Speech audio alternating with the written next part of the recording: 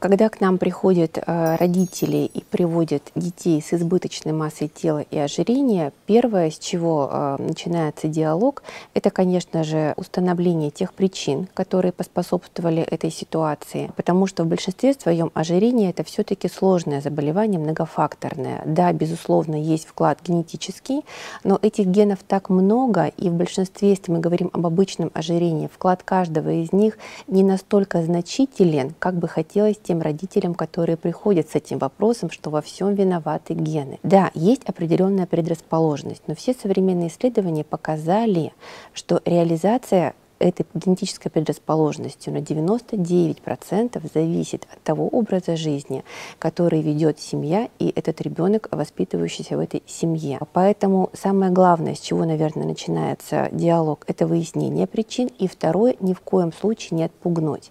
А, к сожалению, тенденция вот э, нашего современного общества такова, что очень мало родителей обращаются к детским эндокринологам именно с проблемой избыточной массы тела. К сожалению, you чаще мы видим на наших приемах деток уже с очень выраженным ожирением. И вот эти 5, 6, а иногда 7 лет, когда еще была небольшая степень ожирения, когда только-только была избыточная масса тела, то есть то, что можно поправить на уровне простых диетических рекомендаций, э, расширение физической нагрузки, вообще понять, почему это так произошло. Переехали в другой город, увеличилась нагрузка в школе, ребенок бросил спортивную секцию, в которую ранее ходил, перестроились в силу каких-то других обстоятельств, привычки в семье, вот именно то золотое время и то золотое окно, когда ребенок может с наименьшими усилиями выйти на правильную траекторию здорового развития, она бывает упущена. И, к сожалению, вот зачастую мы видим именно э, на первый прием, это 100-105 килограммов, и уже осложненные формы ожирения. Вот только с этим родители приходят, что вот мы что-то делали, у нас не получилось, э, что нам делать дальше. Конечно же, в любом случае мы радуемся, что они пришли, а, и мы, конечно же, всегда стараемся помогать и помогаем, но а, вот в этих условиях, конечно же, требуется прилагать уже больше усилий и требуется уже междисциплинарная команда, потому что ожирение – это на самом деле серьезное хроническое заболевание, которое требует очень взрослых решений. Если а, ребенок имеет избыточную массу тела в начальной школе или в детском саду и худеет к возрасту, например, 12-13 лет, в норме так и должно быть, потому что период начала полового развития, он как раз-таки должен стимулировать двигательную активность. У мальчиков повышается уровень тестостерона, прибавляются жизненные силы. У девочек появляется желание нравиться мальчикам. А вот в этой ситуации, если от избыточной массы тела мы пришли к норме в подростковом возрасте, то, как правило, дальнейший прогноз таких деток по метаболическому здоровью, он хороший. Но в большинстве случаев бывает обратная ситуация, когда избыточная масса тела, начавшись в возрасте 4-5-6 лет, наоборот, а, усиливается, прогрессирует, и ребенок как раз к возрасту пубертата, так называемого, в 10, 11, 12 лет приходит с диагнозом ожирения.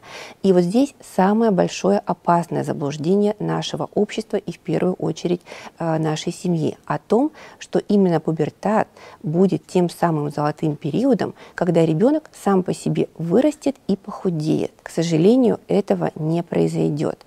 Именно в пубертате в силу физиологических особенностей детского организма снижается уровень основного обмена.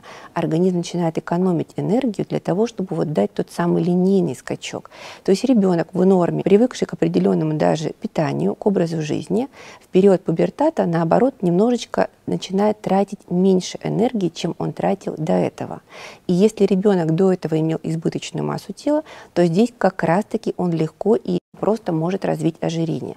Если он до этого, соответственно, пришел с диагнозом ожирения, то в 99% случаев оно только увеличится, а никак не уменьшится. Поэтому сидеть и ждать самостоятельного разрешения проблемы избыточного веса именно в подростковом периоде однозначно не стоит. Это всегда повод обратиться к врачу. Все дети и э, их родители, когда они приходят э, с проблемой лишнего веса к нам на прием, они, конечно же, все разные. И именно задача врача вот найти ключевую э, точку начала работы, э, за которую вот уже можно э, вытащить все проблемы этого ребенка или весь клубок семейных проблем, который поспособствовал в том числе и развитию избыточной массы тела. Для кого-то это будет э, строгим голосом сказано, ты должен ложиться спать ровно в 22 часа. И есть на самом деле дети такие режимные, просто они долгое время не жили по режиму, но они будут радостно вернуться и жить в этом режиме. Для других детей они настолько переживают свою проблему лишнего веса, что сам приход к врачу – это максимум тех возможностей, которые он смог сделать. И в этой ситуации э, любая э, строгая нотка в голосе врача будет иметь совершенно обратный эффект. И этот ребенок никогда не раскроется и никогда больше не придет к врачу.